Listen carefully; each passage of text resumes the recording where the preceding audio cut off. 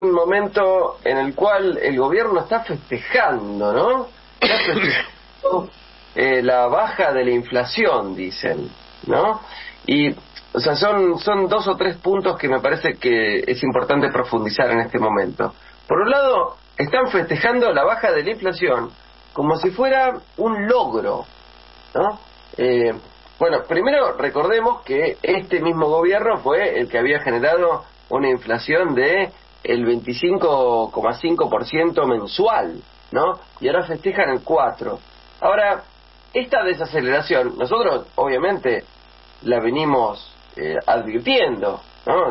muchas veces nosotros hemos conversado los domingos a la mañana, che, mira, puede ser que, que logren desacelerar la inflación. Ahora, ¿por qué? Porque ¿qué es lo que están haciendo? Bueno, por un lado, están dejando por ahora, por ahora y solo por ahora, el, dólar, el precio del dólar quieto, que es la principal causa de saltos inflacionarios en la historia reciente de nuestro país, y por otro lado están deteriorando eh, de manera eh, violenta, violenta dije, ¿eh?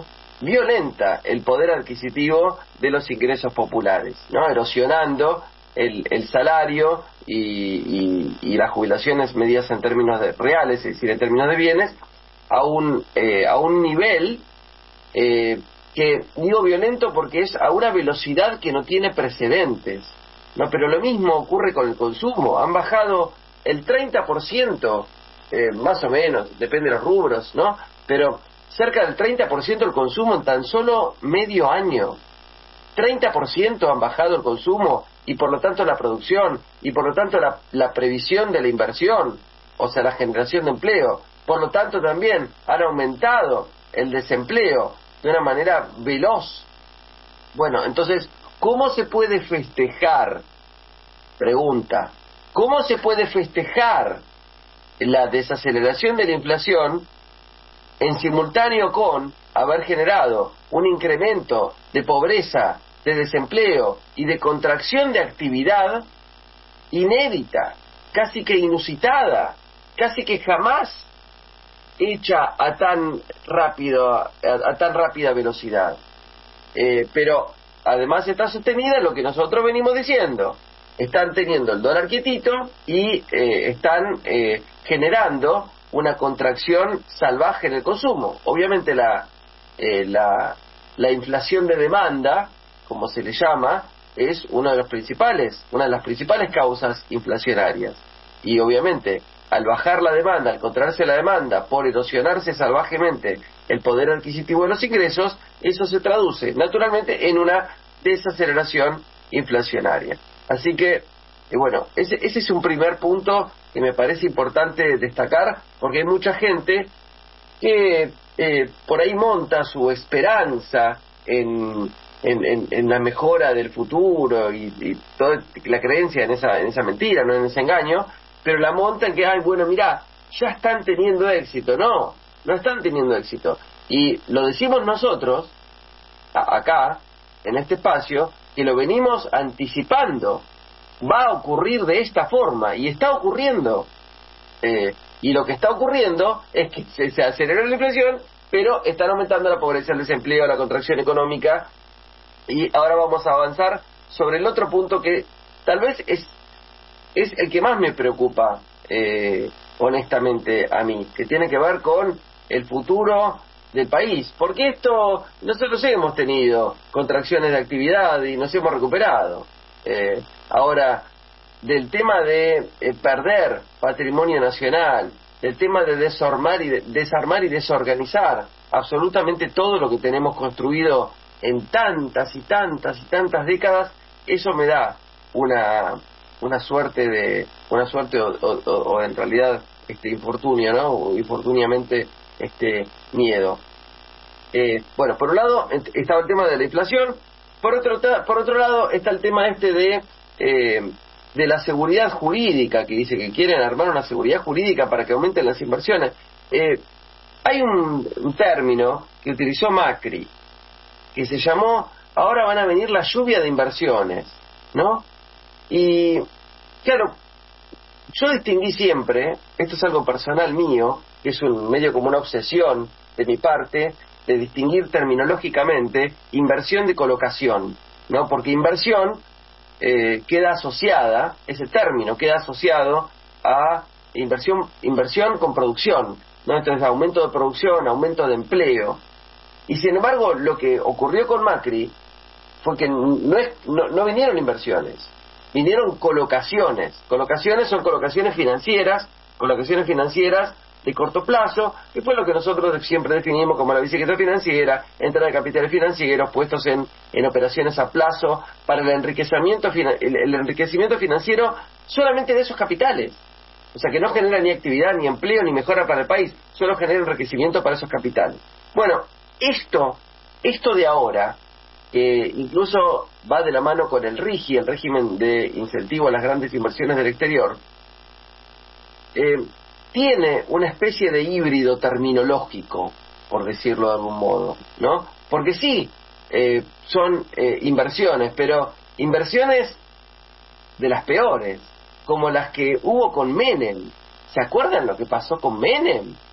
Eh, presidente elogiado por Milei y que según Milei fue el mejor presidente de la historia argentina. Incluso le inauguró un busto a, a, a Menem en el lugar en el que había un busto de Vita, ¿no?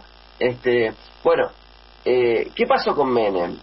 Vinieron las, las inversiones, las privatizaciones fueron, la entrega del patrimonio nacional a capitales extranjeros a precio vil, te las regalamos las empresas, y a partir de ahí nos fugaron sistemáticamente divisas en términos de, de remesas, en términos de retiro de ganancias de empresas extranjeras operando en el país.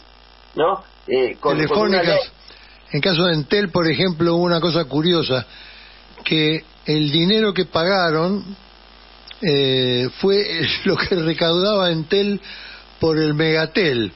O sea que ni siquiera pusieron el anticipo, usaron el dinero de Megatel, que era del Estado, para pagar el anticipo para quedarse con la telefónica. Y después una cosa curiosa, la gente agradeció el buen servicio porque trajeron todos los equipos nuevos. Pero ¿qué pasa?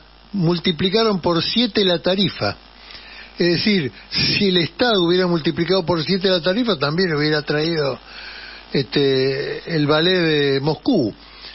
Eh, y además, otra cosa, como la gente que, que, tenía, que empezaba a tener este control, tarjeta de control o tarjeta para poder hablar, que era lo, único que podían controlar, porque nadie podía controlar qué le cobraban cada, este, por, por tarifa en el mes, aumentaron por siete a su vez la tarifa de la tarjeta.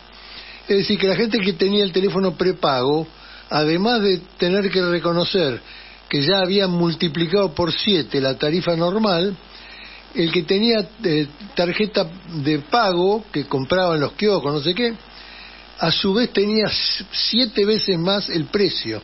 Es decir, que lo controlaba, pero le costaba siete veces más. Sí, bueno, y esto además estaba asociado eh, al decreto ley de Menem de 1989 que decía el Estado facilitará, el Estado dictará las normas que fueran necesarias para facilitar la remisión de utilidades al exterior. Es decir, fúguensela libremente, en total libertad y cantando Viva la Libertad, ¿eh? que nosotros les, les, vamos a facilitar eso. Bueno, el RIGI, el RIGI, eh, tiene que ver con esa, con esa línea de inversiones, es decir, la entrega del patrimonio nacional y como dice Martín, es decir, eh, entregar además lo que funciona o lo que puede funcionar mejor, ¿no es cierto? Eh, eh, entregar nuestros recursos naturales. Y acá tenemos, eh, entiendo yo, los dos modelos de país, ¿no? Un modelo extractivista, que es el que nos pone, en los, los, que los que nos proponen las corporaciones a través del gobierno de Miley, ¿no? Porque si no, le damos entidad a Miley. La verdad que Miley no existe. Miley, este, la verdad que es solo un empleado de ellos. Eh, entonces, el modelo extractivista, que es el modelo de las corporaciones a través del gobierno de Miley, que vienen a eh, saquearnos todos los recursos y fugar libremente, ¿no? Y, fugar eh, los recursos y el dinero libremente. Y el otro, que es el que, el, que, el que tiene que ver con, con nuestro proyecto, eh, el de Argentina, es el de industrializar y generar industria ligada a cada extracción de recursos. ¿Para qué? Para exportar productos con valor agregado, no exportar el litio. A modo de ejemplo, no exportar el litio, o sea, que lo saquen las empresas transnacionales, se lleven el litio y se lleven encima la plata, sino nosotros utilizar el litio para nosotros fabricar las baterías y exportar las baterías, vale decir, exportar con valor agregado. Por eso muchas veces utilizamos el ejemplo de eh, el modelo el modelo que tenía Inglaterra con Argentina eh, a partir eh, del, del, Tratado de Libre Comercio y Eterna Amistad de 1825, que decía que que constituía que, venían, nos sacaban las vacas, nos sacaban el cuero, fabricaban los zapatos y nosotros le, le comprábamos los, los zapatos con el cuero hecho con las vacas argentinas. Bueno, eh, esto eh, creo que pone de manifiesto los dos modelos de país. Y el otro punto que quería destacar, uno es el tema de la inflación, fíjense la, eh, el engaño, ¿no? a través de los medios que se intenta hacer, como que fue un logro, no, la verdad que todo lo contrario. El segundo, el tema este de los dos modelos de país ligados a la extracción de recursos, uno es el modelo extractivista, que nos deja vacíos eh, y sin nada, y el otro es un modelo productivo, industrial, y el otro es, eh, brevemente, eh, que ese, ese, ese enunciado que dice, estamos fuera del mundo, estábamos fuera del mundo, estamos fuera del mundo. Bueno, lo que teníamos es la inclusión al BRICS más, Brasil, Rusia, China y Sudáfrica, más Emiratos Árabes, Arabia Saudita, Egipto, Etiopía, Irán, y que iba a ser Argentina desde el primero de enero del, del 2024, y que mi ley Milley dijo que no, y eso era incluirnos en un bloque de cooperación eh, comercial, económica, geopolítica y financiera que hubiese sido de inmensa importancia, constituido por la mitad de la población del mundo y el 40% del producto global. A eso le dijo Milley que no, además de haberse peleado con Brasil, con Colombia, con España, eh, y no me acuerdo con cuántos más. Entonces, bueno, fíjense un poco todos los temas que se pueden ir conversando en la mesa de los argentinos hay que hablar, siempre hay que hablar, siempre hay que convocar a la reflexión y, construir cultura. Un lujo como siempre, Julián. Muchísimas gracias. Julián Denaro en la mañana de Juan Domingo. Beso enorme para todos.